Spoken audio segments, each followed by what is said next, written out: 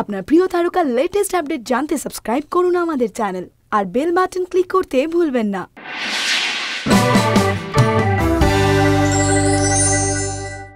অভিনেত্রী মিমি চক্রবর্তী, পরিচালক রাজ চক্রবর্তী এবং আর এক নায়িকা শুভশ্রী গাঙ্গুলির সম্পর্ক নিয়ে ফের উত্তাল টলিউড। এবার বিতর্ক, পরিচালক রাজ সম্প্রতি কোন নায়িকাকে নিয়ে তার একান্ত গোয়া সফর করেছিলেন তা নিয়ে। পুজোর শেষ লগ্নে এসে পরিচালক রাজ চক্রবর্তী এক বাঙালি নায়িকাকে নিয়ে গোয়া সফরে গিয়েছিলেন। এক বিখ্যাত সংবাদ মাধ্যমে খবর প্রকাশিত হয় যে নায়িকা মিমি চক্রবর্তীর সঙ্গে গোয়ায় বেড়াতে গিয়েছেন রাজ। এই খবর প্রকাশিত হবার সঙ্গে সঙ্গে ক্ষোভে ফেটে পড়েন মিমি। তিনি পরিষ্কার জানিয়ে দেন যে এই খবরটি সম্পূর্ণ ভিত্তিহীন এবং সবৈর্ব মিথ্যে। শুধু তাই নয়, মিমি দাবি করেন যে তার নামে এই মিথ্যে খবরটি রটিয়েছেন আদতে শুভশ্রী।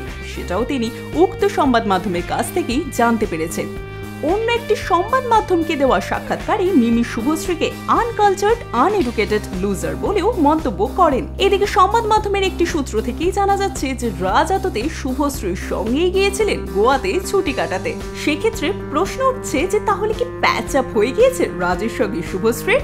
রাজ মিমি শুভশ্রীর সম্পর্কে টানা পড়েন অবশ্য নতুন কোনো ঘটনা নয়। দীর্ঘদিন ধরেই রাজ মিমির সম্পর্ক ওপেন সিক্রেট ছিল টলিউডে। সেই সম্পর্ক হঠাৎই ধাক্কা খায় দু সালের পুজোর আগে। শোনা যায় গ্যাংস্টার ছবির শুটিংয়ে তুরস্কে গিয়ে সেখানকার লাইন প্রডিউসারের ছেলে মিলির সঙ্গে সম্পর্কে জড়িয়েছেন মিমি। তারপরেই খবর ছড়ায় শুভশ্রীর সঙ্গে চুটিয়ে প্রেম করছেন রাজ। পরবর্তীকালে আবার জানা যায়, রাজ শুভশ্রীর বিয়ে ঠিক হয়ে ওনাকে ভেস্তে গিয়েছে। কারণ রাজের সঙ্গে প্যাচ আপ হয়ে গিয়েছে মিমি। টলিউডের আনাচে কানাচে এমন গুঞ্জনও শোনা যায় যে শুভশ্রী নাকি গায়ে আগুন দিয়ে আত্মহত্যার চেষ্টাও করতে গিয়েছিলেন।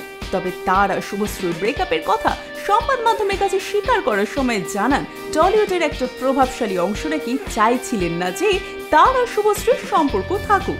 অবশ্য মিমির সঙ্গে প্যাচাপের খবর স্বীকার করেননি তিনি, বরং বলেছিলেন তিনি হ্যাপিলি সিঙ্গেল পরবর্তী পরিস্থিতি হঠাৎই রাজ শুভশ্রীর এই গোয়া ভ্রমণ সংক্রান্ত বিষয়ে রাজ মিমি শুভশ্রীকে নিয়ে টলিউডে ঝড় ওঠার পরও মিমি কিন্তু এবারও বলছেন, তার এবং রাজের সম্পর্কে ডেড এন্ড হয়ে গেছে। সুতরাং এটাই বলা যায় পিকচার আবিবি, বাকি হ্যাঁ দোস্ত।